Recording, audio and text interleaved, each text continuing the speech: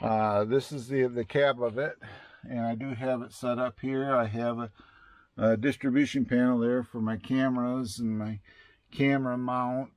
Uh, there's my phone over there holder just laying on the seat. But because we're leaving Friday morning with this for my channel.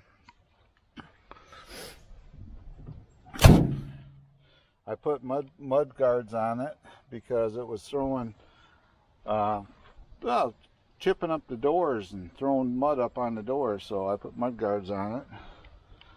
Uh, when I got it the the, the dash was uh, gray. I blackened it out. I blackened around the headlights. I painted it black. There's my channel logo. So if you're new to my channel, please like, subscribe, hit the notification bell for future updates. Uh, I went through the whole thing mechanically. Um, mud, mud guards again.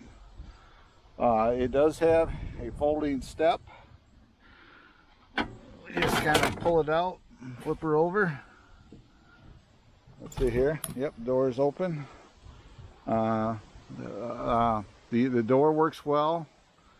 Uh, the awning there, I put new fabric on it as well. I actually replaced, as well as I replaced this outlet under, in here. That's a new outlet.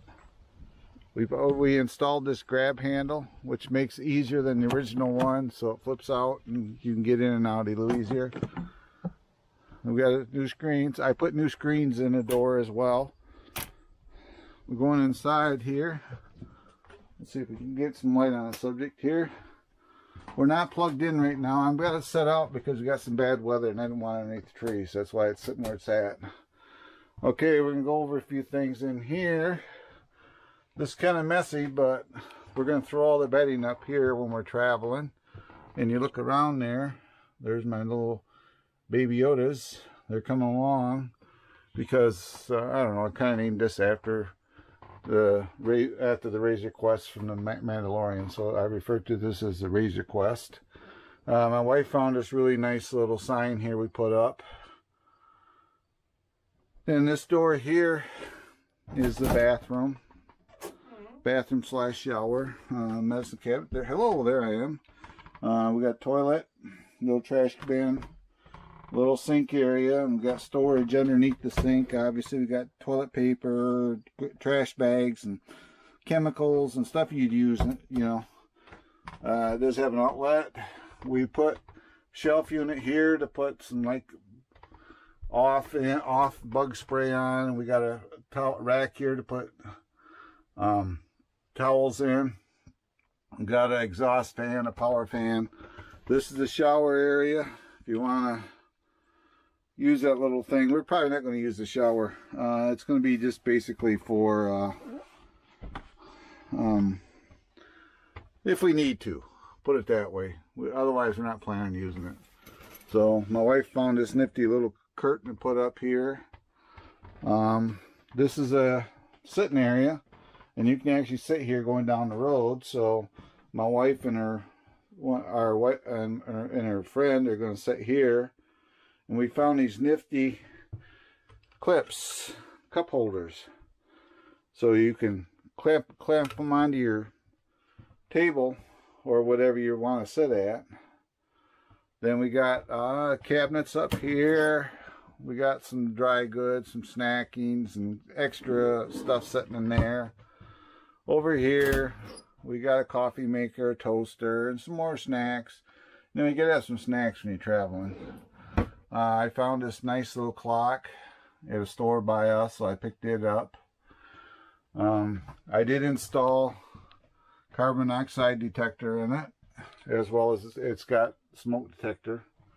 Uh, back here we have a, another bed area. We redid all these cushions. They're all been redone. Uh, we got storage up here. This back in the day, this would fold down into a second bed so you could sleep actually. If you wanted to put that many people in here, you could sleep eight people in here if you wanted to. Then we got, you know, storage over here, bedding sitting up there, uh, TV sitting right there, And I just, I did buy a new TV to put in here. The other one was kind of, it was a DVD player slash TV and it worked on DVD but not on TV. So, and also this thing never had a uh, TV antenna. So I put a King's OmniPro uh, antenna. It's a HD omnidirectional antenna on the roof. So this is the controls to turn it on and off. Then up here we have paper plates and cups. And then this is my distri distribution panel so I can check my LP and the pump. And I can test uh, the tanks, see how they're doing. They need to be whatever. And unfortunately, that part's, you know, it's like any other old older motorhome. They never work. They quit working. So you, you, just, you can just, you just know. Uh, we got a microwave oven. We got a, this is the vent line. Um, and it has, I put all LED bulbs in it, in everything we have here now. Everything's got LED in it. That's the other thing. All these fixtures uh, throughout are all LED lighting. So I have all LED lighting throughout. I did upgrade that. Then we have a Wedgewood uh, stove. Uh, use a uh, match light, to match or a lighter to light it. It's got an oven. Then over here we have, used to be a wardrobe or a closet. Well, we, we don't hang that much stuff up, so uh, we made it into a, a, more of a storage area. We put these bins in here so that we got places to put. I got my binoculars. And down here we got more bins and a little strainer and as well as a scrap bag thing. Got my hatchet in there if I need it. Um, then down below here, I just got a bin down there. I keep the extra propane bottles for the grill that's on the back. Then over here on this side, this is our distribution center. Uh, this was set up for generator slash propane, so, I mean, uh, solar, so uh, that's why all, all the gauges and everything is in there. Then up here we have our fridge. Uh, this is a Norcold, and it's pretty good size for a little motorhome. This thing's 24 foot, so we got a freezer. Then we got the fridge area. My wife's already got some stuff sitting in there, getting stacked stocked up. We'll put all the final stuff in here when we get ready to go. Um, let's see here. We got everything covered in here, I believe. Um, yeah, of course, we got our sink. Uh, we got a fuse panel down there. And we got more pots and pans. We got silverware drawer here and here. Then we got a, a big drawer down here, if I can get it open, which we don't have nothing in right now. So we got an empty drawer, door, unit. So that's the inside of this. Uh, then what's nice is you riding down the road, you need to go step away from the wheel you always stop the vehicle, of course. We were kidding about this, about cruise control and just getting up and going and come back. You know, you don't do that. But you can access the driver's area here. Like I say, here's bedding. I put a fire extinguisher here. Then we go out the door here. Like I say, there's my access to the propane tank. Shut this door up here. There's my how I access the propane tank down there. I have an outlet here. I say, new tires on it. This is to access the refrigerator right here. Back the fridge. And down in here is initially if you had a generator, this is where the generator would go. And what I got in there really is uh, I got two big batteries to power of the motorhome and I got uh, oh, leveling blocks, uh, uh, 12 ton bottle jack in case I need it, the tools to uh, change out the, uh, I left the light on here a minute. Tools to change out the tires if need to. but I do have road service on it, towing. Then we go around the back. I put, I got this uh, tube in here. That's the whole, what they call common refer to as the stink hose or your sewer drain hose. Sits in there. Uh, reason I put that on there is the original one. Uh, it won't. The one that's in there would not fit in the bumper, so the bumper is empty. So uh, I keep it in there. Then we put this rack on. Then I keep the. We can set a cooler on. You see I got some stuff sitting on there. Uh, our rug that's going to go next out when we get there. Then our, our little little end tables to sit around a campfire as well. In this tote is the is the grill, propane grill. So I'm going to keep it right, keep it at. Then we go on the side here. This is the furnace. Then this is the water tank. This is where you'd fill it. Then over here is your city water hookup. That's where if you go to a, a, a campsite that has a full hookup, you can hook your garden hose right into here and use their water. You don't have to rely on your water tank. Then right here is the gas fill. Then this is your shore power cord sits in here. It's a 30 amps service. Then right here, this is the hot water heater.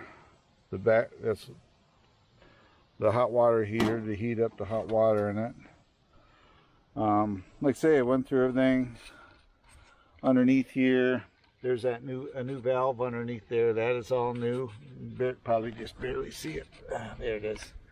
Uh, that is new. It's just a little road dirt on it. It's gonna be hosed off or splash dirt, but that is new. I put that in there new.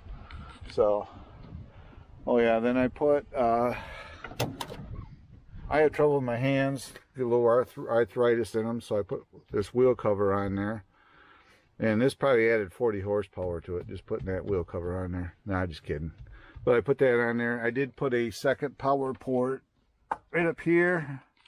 Then this opens up, and right there's a power. Uh, we used to be a cigarette lighter. We don't have smoke, so this became a coin uh, change uh, tray, I, I cut out the cigarette holder right out of it. So then you put your coins or whatever in there and then plug it in. Then uh, got a glue glove box area. I did put carpet down in the cab here. And I say, you can see we were just back there. So this is the original cab. Uh, the only thing we got to do down the line is got all these snaps we're going to redo all this and I'm going to make a new privacy curtain for it. Um, like I say, there's a my camera mount. But uh, on the engine, uh, I changed the air cleaner on it. I put an Edelbrock system on it rather than the the, the original uh, air cleaner that was on it was really restrictive to me. I mean, you're you're feeding eight cylinders through a hole the size of less than the size of a coffee cup. So uh, I put an Edelbrock on it and I noticed the difference right away. And I didn't have a whole lot of money invested in it. So I did put that on it. Um, this is this of course has got a 454 in it. Then up here I, I did I did change out the stereo.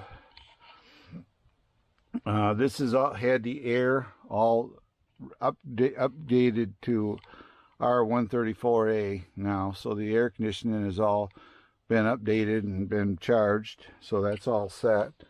Uh, I have switches over here. You'll see them right here.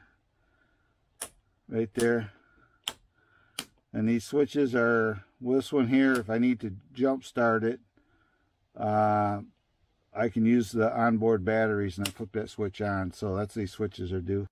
Then of course you got your dome light, your trailer brake uh, controller switch here. Um, but this, if you notice, there's no shoulder shoulder straps. There's just lap belts. No airbags in this whatsoever. This is the 1983, so um, yeah, which means there's no catalytic catalytic converter on it, and it's running uh, dual exhaust. So Let's start her up here a minute. Get her started up here.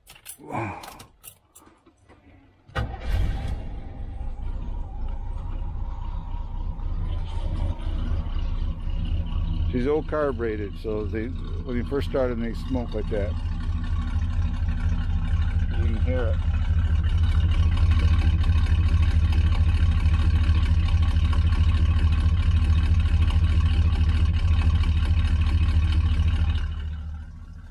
That's big. That's a big block Chevy thump in there. So you can see the smoke cleared right up. It's because of the. It's a carbureted engine. It's not fuel injected. If I keep it down the line, I'll probably. Um, we may down the line fuel inject it, get a kit and put on it. I I don't know. We may drive it for a year or so and just sell it. Um, up on top, I put the MaxxAir units on there. There's my Omni King. I want to do this. Thing. Make use of it. Well, right there's the MaxxAir unit. Then you got the the Omni Omni Pro, Omni King Pro, which is an HD TV antenna.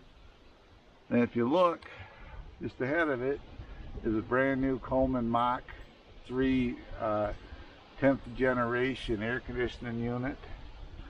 And also I have replaced this is the exhaust for the uh,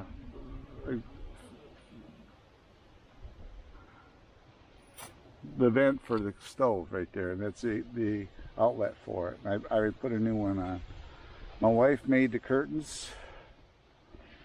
Uh, also it, it, has a piece of stick on top there. All the lighting, mark, marker clearance lights are LED. The only thing I haven't changed out are the tail lights and the headlights. Uh, everything, everything is LED on it, even right down to the porch light. So, yeah, everything is LED on here. So there's the porch light right there. And like I say, my wife made the curtains. There it is from the front.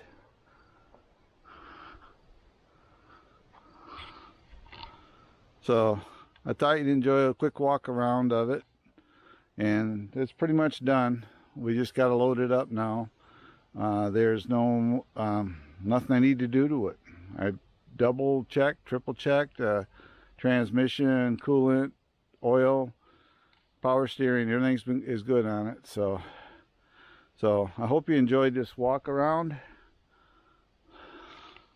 of my motorhome, my vintage 1983 Mallard on a Chevy C30 chassis. Uh, it's got a Dana 60 rear end in it too, if you're, if you're wondering. Uh, so, um, if you're new to my channel, if you will, please like, subscribe, hit the notification bell for future updates. And uh, next update will be when we're driving on the road. So I will I will catch everybody later. And you all have a good good day, safe travels, and God bless. Bye-bye.